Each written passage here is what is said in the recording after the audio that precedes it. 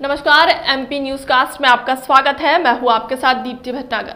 आइए शुरुआत करते हैं दिन भर की कुछ खास खबरों के साथ। सागर ज़िले की तहसील केसरी के ग्राम नन्ही देवरी से निकलने वाली टू लाइन सीसी रोड को केसीसी बिल्डकान कंपनी ने लगभग 2020 में अपना कार्य पूर्ण कर दिया था, पर कार्य विधिवत न होने की कीमत लोगों को जान देकर चुकानी पड़ सकती है क्योंकि नन्ही देवरी के मुख्य बाज़ार में से रोड निकला है और रोड से सटी नदी निकली हुई है।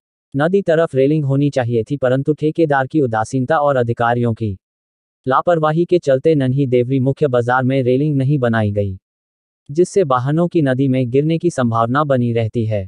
ऐसे में दुर्घटना का जिम्मेदार कौन होगा? ग्रामीणों ने अनेकों बार रेलिंग बनाने की मांग की और प्रशासन को अवगत कराया पर न तो आज तक इनकी बात के सी सी बिल्डकान के ठेकेदार ने सुनी ना। शासन प्रशासन ने क्या नाम है आपका? नरेंद्र राजौरिया। ये जैसे सुनने में आया था कि यहाँ पे आए दिन एक्सीडेंट हो रहे हैं तो क्या वजह है इसकी? ये केसीसी कंपनी वालों ने रोड बनाया है गुड़ एक तो गुणवत्ता ही है पहली बात तो। और यहाँ आए दिन मतलब एक्सीडेंट होते हैं जो रिटर्न बाल बननी थी। तो पिचिंग विचिंग उन्होंने कुछ नहीं किया उन्होंने यहाँ से छोड़ के क्रॉसिंग भी नहीं बनाई इन लोगों ने।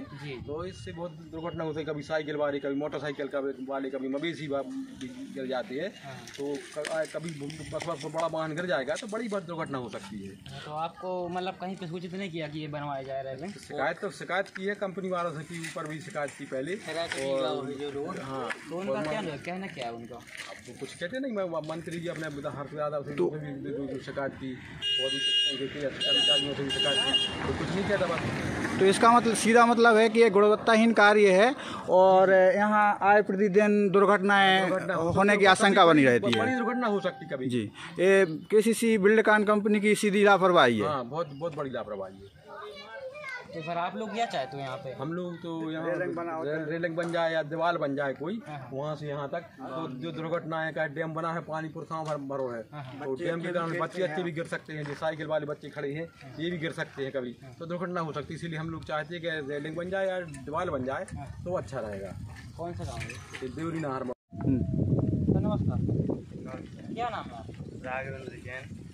ये सामने घटना आ रही है कि यहाँ पे आए दिन एक्सीडेंट होते हैं। क्या कारण है इसका?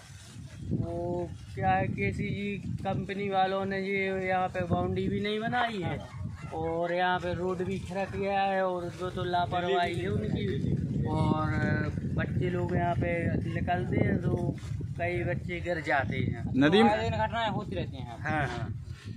यहाँ पे बाउंड्री बन जाए। और या रे या रेलिंग। हाँ रेलिंग वगैरह और जो यहाँ पे ये ये रोड के बगल से ये क्रॉसिंग है जो? क्रॉसिंग में परेशानी होती है और बच्चे लोग निकलते हैं और वाहन भी निकलते हैं। नाली बंद क्रॉसिंग और अच्छा तो आप लोगों का कहना नहीं मतलब गुणवत्ताहीन कार्य हुआ है। हाँ हाँ। बिल्डिंग हाँ, हाँ। कार्य किया। हम्म, हम्म। तो आप लोग रेलिंग चाहते हैं? हाँ जी हाँ। ठीक।